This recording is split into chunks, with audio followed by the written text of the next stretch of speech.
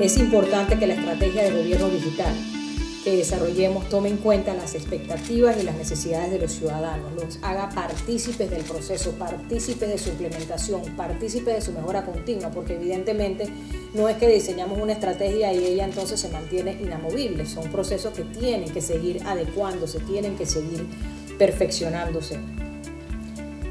El gobierno digital nos brinda esa oportunidad de desarrollar relaciones más colaborativas, gobierno, ciudadanía, a nivel interinstitucional también, porque creo que parte de la debilidad de las instituciones en nuestro país es la colaboración interinstitucional, la colaboración a lo interno de las instituciones por esa,